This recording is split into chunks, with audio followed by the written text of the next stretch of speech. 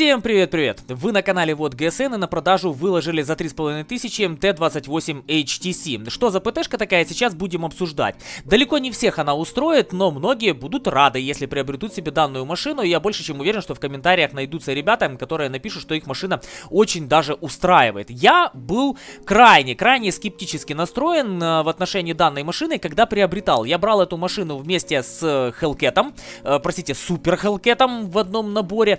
И тогда брал исключительно ради того, чтобы обзор снять. Но когда я покатал на данной машине, она реально перевернула мое сознание. Что касается того, что положили в наборе. Есть камуфляж, он красивый, я не буду спорить, он действительно классный, симпатичный, переливающийся, в довольно-таки интересном стиле прорисован, но все-таки, ребят, э, в легендарном Камо она бы смотрелась, эта ПТшечка, гораздо лучше. Обратите внимание на внешний вид именно в легендарном виде. И действительно, машина имеет какую-то такую, знаете, изюминку, которая отличает ее от других машин. Когда же вы оденете этот фиолетовый камуфляж, я думаю, что вы не сильно будете выделяться из толпы, но это мое скромное субъективное мнение, напишите свое свое. Я же был очень доволен, что мне к 28-му дали еще все-таки легендарный камуфляжик тогда. Есть аватар, но он не анимированный, место в ангаре и открытое все оборудование. Я бы сказал не густо. И честно говоря, вот такой вот наборчик с учетом отсутствия легендарного каму или каких-то дополнительных плюшек, или хотя бы анимированный аватар, а не обычный, или может быть там хотя бы каких-то 3 или 5 дней, ну пускай 7 дней вообще в идеале было бы прем-аккаунта, тогда да, 3,5 тысячи абсолютно адекватный ценник. Стоит ли в таком виде машина своих денег? Здесь вопрос у нас остается пока подвешенным. Что касается характеристик. В свое время машина была апнута, ей подняли все, что действительно мешало ей жить, но у ребят игроков осталось э, предвзятое отношение к ней, потому что они помнят ее еще в предыдущем своем виде и в предыдущих своих возможностях. Крайне унылая подвижность, ужасно поворачивающийся ствол. Короче говоря, одни сплошные недочеты. Именно поэтому Т-28 HTC все не взлюбили, но и до сих пор не любят. Хотя, ребят, я думаю, что это не совсем на сегодняшний день справедливо по отношению к ней. Что касается орудия, время сведения и разброс на 100 метров. Вроде бы цифры нормальные, время сведения немножко завышается здесь у нас, по крайней мере, на первый взгляд, но их мы обязательно заценим с вами в бою, потому что на этой машине именно в бою и стоит вот эти цифры смотреть, что касается и подвижности в том числе. Разброс, как я уже сказал, он в принципе терпимый и нормальный. Как это играется, мы с вами увидим. Урон в минуту 2423 и порой он действительно реализуемый. Что касается времени перезарядки, им крайне комфортно, но у меня стоит для этого еще оборудование, амуниция и базовые значения безусловно похуже будут. Но поскольку оборудование вам изначально дают в наборе, то просто знаете, что можете довести до практически 7,5 секунд. Бронепробитие 190 единиц достаточно на своем уровне. И против восьмерок, поверьте, вы будете страдать не из-за плохого бронепробития. Из-за чего будете страдать, сейчас тоже обсуждать будем. Средний урон 310 единиц. И в целом это комфортно. С таким временем перезарядки мне лично больше, чем достаточно.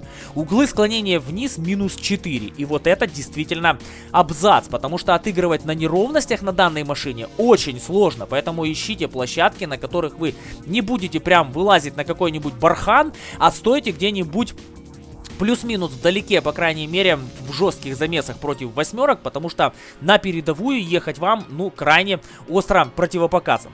Теперь, что касается брони по данной машине. Она выглядит вот таким вот образом, и вроде бы все типа классно, но, как многие знают, машина крайне легко пробивается, даже не в эти верхние пыптыки, которые неизвестно почему в количестве трех штук здесь стоят.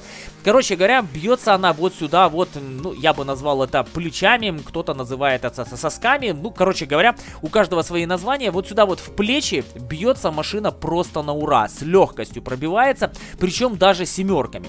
И даже если ты танкуешь, то в принципе тебе повезет только если ты поймаешь рандомный рикошет. Я имею в виду именно в отношении плечей. Что касается вот этого переднего бронелиста, что касается рубки, то здесь нормально, бодро, все окей. Вот эти зоны действительно серые, когда вы целитесь в машину, и они действительно пробиваются. И самое фиговое, что когда вы отворачиваете орудие, то здесь становится еще больше. Поэтому, в принципе, бросая, допустим, в целую сторону сюда, даже если противник будет целиться там, не знаю, вам в плечо, и но снаряд пойдет не туда, куда ему хотелось, то все равно залетит тогда вот сюда вот в, как это правильно назвать, рубка, не рубка, да, то есть, ну, в часть, короче говоря, поворачивающиеся рубки, которая здесь есть, или орудие, бог его знает, как это назвать, я думаю, суть вы поняли.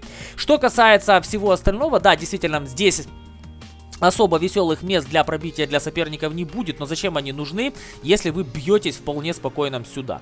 Да, с фугасами тут немножко попроще. Если прямо кто-то захочет заморочиться, кинет фугас вот сюда, вот в красную зону, осколки залетят сюда, и будет ему счастье. Но зачем этим заниматься, если машина, в принципе, пробивается вполне спокойно вот сюда бронебойными? Ну, короче говоря, я не думаю, что кто-то будет сильно изощряться. Сзади полнейший картон, поэтому попцам не рекомендую кому-то поворачиваться. Я не буду смотреть на сравнительную таблицу по данной машине, потому что ее просто в принципе сравнивать не с кем. АТшка премиумная, ну нет, не сказал бы, совсем другой геймплей, там совсем другая пушка. Короче говоря, данная машина, не то чтобы она уникальна, просто ее тяжело сравнивать с другими машинами на уровне, поэтому самым толковым, что может быть, это просто взять данную машину, взять встречный бой, ну и, соответственно, заброситься в каточку для того, чтобы посмотреть, на что она способна. Как я уже сказал, мое предвзятое отношение, оно в корне изменилось тогда, когда я приобрел данную машину уже после апа. И довольно часто я ее выкатываю из ангара именно тогда, когда мне прям вот нечем заняться. А, для того, чтобы выполнять на ней какие-то боевые задачи, ну, возможно. Возможно, такие боевые задачи, как э, знаки классности, допустим, взять, но при этом вам придется очень-очень аккуратно играть для того, чтобы сделать максимальный урон за бой. Что же касается других позитивов по данной машине, это не сказал бы, что фармер, потому что особого фарма машина не приносит. Это однозначно не какая-то там суперскоростная тачка, которая позволяет вам, ну, прям бодренько передвигаться. Я сейчас заехал против восьмерок, и, как я уже говорил, придется немножечко хорониться, потому что Против восьмерок беда данной машины не в отношении уровня пробития, а в отношении того, что если вы для семерок не представляете особой угрозы своей броней, потому что плечи у вас пробиваются, то представьте себе, насколько просто пробивать будут вас восьмерки. Вот в этом прикол данной машины. Как вы видите, едет машина с учетом того, что это довольно сильно бронированная ПТшка. В принципе, не сильно быстро, но упрямо, я бы так это назвал. Особого дискомфорта не ощущаю. Всегда, когда играю, в целом э, больше остаюсь доволен подвижностью данной машины, чем расстраиваюсь из-за нее. Что меня действительно радует в этой машине, что несмотря на отсутствие рубки как таковой, орудие, в отличие от многих других машин, действительно бодро, классно, стой на месте, Короче говоря, бодро, классно поворачивается вправо-влево. Поэтому следить за соперниками и не доворачивать э, корпусом вполне себе даже комфортно. Углы склонения, как вы видите, не очень приятные.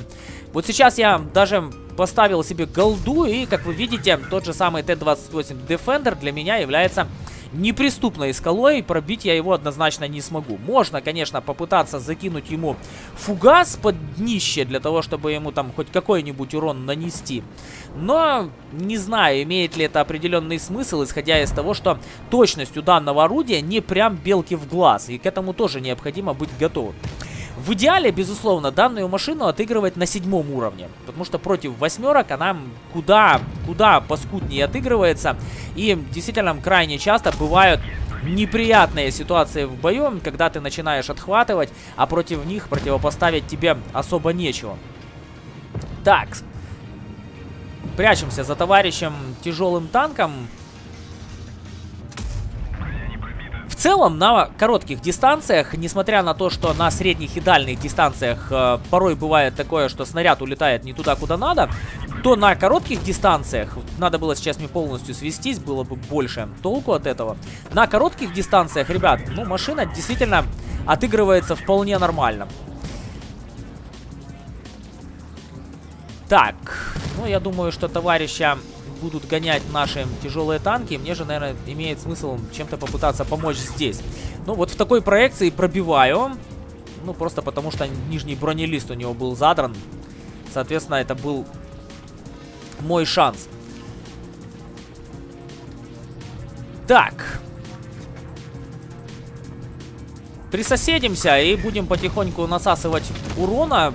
Потому что, в принципе, это единственный способ в данном бою конкретно получить хоть какие-то результаты, которые можно будет плюс-минус заценить. Я имею в виду количество урона, который вы можете набросать, но, опять-таки, будем делать скидку на то, что я вынужден сейчас отрабатывать на голдовых снарядах, ну и, соответственно, отправляюсь. Теперь смотрим на том, куда меня пробивали. Восьмерки пробивали меня абсолютно спокойно, как видите, в передний бронелист. Я не назову его верхним, нижним, это именно передний какой-то бронелист. И обратите внимание, оба плеча пробиты. Это то, о чем я вам говорил, что бить будут именно в плечи.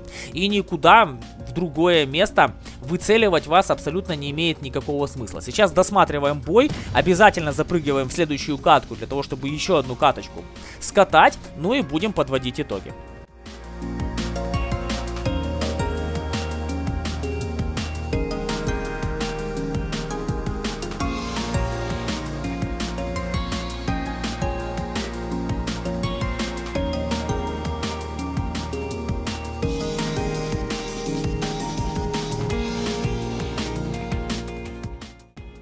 Что, ребят, бой закончился победой. Спасибо большое нашему Эмилю в команде. Действительно, парень очень классно, ну или девчонка, классно отыграл. Короче говоря, 1800 единиц урона, один сделанный фраг. Но обратите внимание, я этот урон, безусловно, а, не ставлю в то, что машина заслужила данный урон конкретно в данном бою. Ну, либо я его заработал, потому что я разбирал спящего товарища. Но за вот такой вот результат, за третье место в команде по урону, 1800 урона, как я уже говорил, мы с вами получаем с учетом прем-аккаунта аккаунтов всего лишь 68 тысяч. Но с другой стороны, обратите внимание, что пополнение боекомплекта у нас составило, грубо говоря, десятку. Таким образом, если вам повезет играть против семерок и голду вы использовать не будете, то в целом на фарм, грубо говоря, там 80 тысяч за вот такой бой можно выходить. Почему я сказал, что машина не фармер? Потому что не все бои у вас будут вот такие. И во многих боях вы будете находиться где-нибудь здесь третий с конца, и ваша результативность результативность будет совсем другая. Поэтому, ребят, машина, как для фарма, она должна быть плюс-минус равномерно успешная по боям, для того, чтобы вы действительно на ней могли косить себе серебро в свою серебряную копилку. Запрыгиваем еще в одну катку. Очень сильно надеюсь, что зайдем против товарищей своего уровня, потому что против восьмерок мне лично играть дискомфортно на данной машине. Почему же я считаю, что, слава богу, мы идем против семерок? Уже хорошо. Почему я считаю, что Т-28 HTC на сегодняшний день недооцененная. Просто потому что восприятие данного транспортного средства, назовем его так, восприятие данной ПТшки, оно осталось еще то, которое было вызвано всеми косяками данной машины, которые в большинстве своем, точнее по большей части, разработчиками были нивелированы практически к нулю. То есть, скудная подвижность нет, уже на сегодняшний день не настолько скудная, как была раньше. Хреново отыгрывающееся орудие? Нет, его тоже поправили и орудие играется совсем по-другому. Короче говоря, ребят, машина не стала имбой, но стала существенно лучше. И если вы, в принципе, в поисках чего-нибудь эдакого, то данная машина, я думаю, вас порадует и устроит. Вот сейчас очень обидно было, что я не успел в товарищам закинуть. Объедем, попытаемся набросать урона по ТТшкам, которые подставляют затылки. Я очень сильно надеюсь, что я успею это сделать. Так. Вот так вот в наглую заберем, просто для того, чтобы ствол минуснуть. Ну, просто потому что так будет выгодней для всей команды, если мы минуснем ствол. А не если мы кинем урона по тому же самому Зюто. Дзюто, как его там правильно называть. Ненавижу эти, честно говоря, названия, которые фиг поймешь, как правильно произносить.